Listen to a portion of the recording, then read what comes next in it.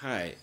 So, I'm making this video because I don't want people to have to deal with the same frustration that I did. So, um, this is the Deebot N79 Ecovacs Robotic Robotics. And this vacuum is awesome and navigating, it's powerful, but after about three to four weeks of function, it will stop, seemingly stop seeing things and just ram everything. And I talked to Ecovacs customer service, and they say, "Oh, you know, we're at a loss. It must have, um, the infrared must have gone out on it." Uh, and so they sent me a new one, and the new one had the same problem. And so they sent me a new one, and finally I thought, um, I'm going to try to troubleshoot this myself. So I did. I figured out what the solution is. But first, the problem. So I just set Deebot on auto. And it's a nice, lots of natural light in the room right now. Um, Deebot's cruising around. Doesn't see my foot. Doesn't see that. Uh, what's really telling though is when it gets over to the white walls.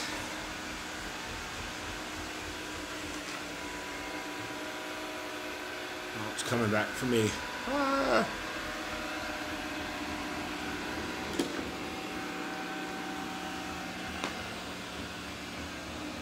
Box. It's going for a, a wall, a white wall. As uh, I'm sure you've seen in the advertisements or the cautions for any robot vacuum, if it's dark colored or thin, it might have trouble, etc., etc. Um, this has trouble with everything right now. I wasn't great about picking up the um, floor because I actually just wanted to show the infrared seeing things were not working. So, let's film that just for another minute.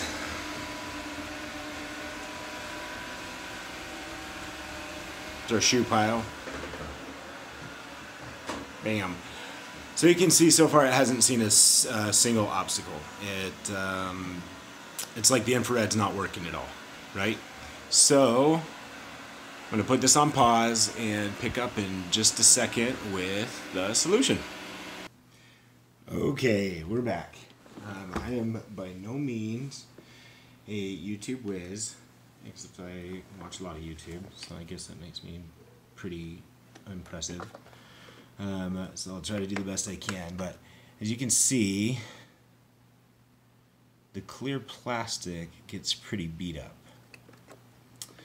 And one of the things that customer service will tell you is, yeah, it gets dusty and dirty, wipe it off so that the infrared can see through it. Um, well, that's not adequate. And because of my past experiences with having cheap cars that I needed to, you know, fix the headlights instead of having a car with good headlights, um, I knew about this wonderful thing called plastic polish. So a plastic polish that I've used in the past that I really like is Meguiar's.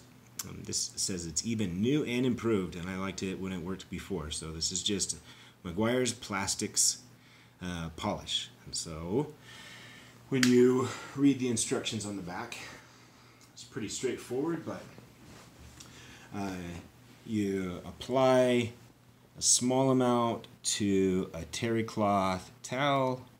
Uh, what it does is has some abrasive agents in there, but just mild abrasive agents.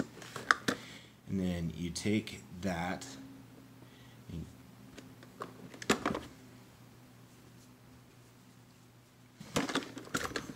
better shot, I hope.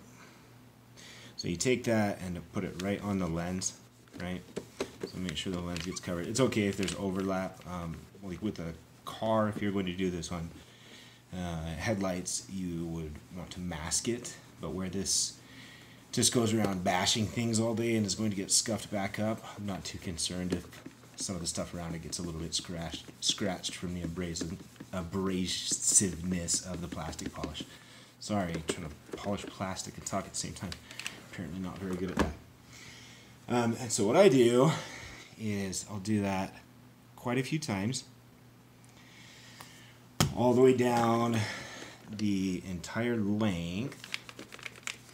Um, I use clockwise and counterclockwise just because I feel like it gives a better better motion um, than going straight because uh, you know if you took sand and scratched it across plastic back and forth back and forth then I think you'd just be putting straight lines in it versus if you're going in a circle in my head at least I think oh it's clearly it's buffing it out anyhow so keep doing that back and forth. It's really as much as you can handle. Well, I shouldn't say that. Maybe you could handle like five hours. Um, I usually will do this for, I don't know, five or ten minutes, just putting more on and putting my back into it, really giving it a good um,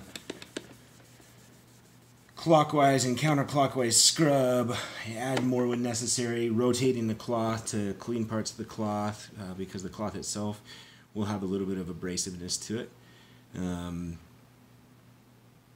so I'm going to pause this and then come back in just a second to show you the results. Okay, and so I just buffed that for about five more minutes. The last thing that you're supposed to do, according to the instructions on the plastic polish, um, and Meguiar's Plastics and every other one that I've used in the past says the same thing.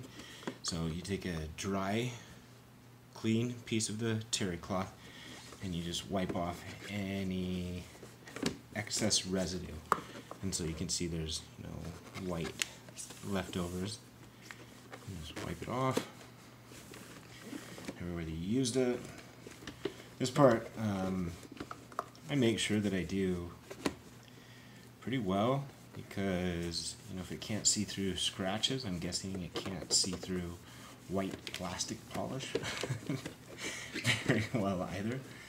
So um, and if you did a good job then by this point you could you actually are probably feeling a difference in how smooth the plastic is. So it's uh, buffed out a lot of those ridges. Um, actually when I figured out this solution I had been corresponding with the same customer service agent at Ecovac. She was very helpful and very friendly, and I figured this out and I recommended to them that they either increase the size of this bumper, um, which only in retrospect I realized wouldn't work for things like uh, we have this entertainment system right here that has a, a lip that it wouldn't matter if the bumper was bigger because uh, the lip is actually above the bumper. it's directly into the plastic. And so my follow-on suggestion was um, for them to have more of a scratch-resistant plastic, like uh, plexiglass or I don't, I don't, know something that resists scratches more. So I guess I said it right the first time. Scratch-resistant plastic. So, now that we're done with that, um, and I always, uh, anytime I have it flipped over or whatever, I, oops, take the opportunity to clean off the brushes And I know we're all sorely tempted when stuff uh, like this, you know, we take it out of the vacuum, look at it, and then throw it back on the floor for the vacuum to pick back up. Give it another try. But, uh, you know, obviously, since strings are not good for any vacuum, including robot vacuums, I try to take care of it and put it in the garbage.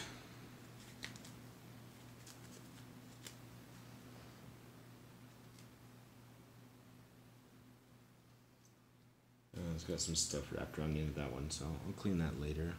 The roller with uh, the little cutting tool that they send with it, which is super useful. Um, clean that up, but for now, that will be enough that I can show.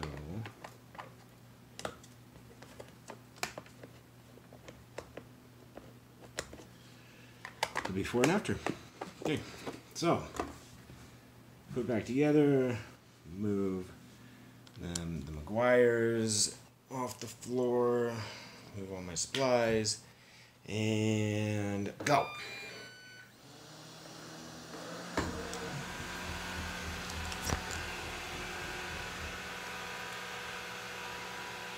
Would you look at that? Deebot slowed down. And he was inches away from the wall. Here's my foot. Still hit my foot. It's because it was dark. Oh, dodge the books. Dodge that. Dodge the box.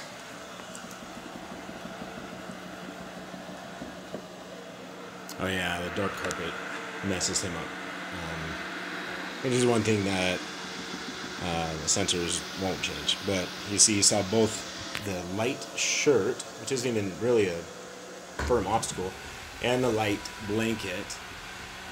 And off he goes. Saw the, the whatever that thing is, end table, the toy.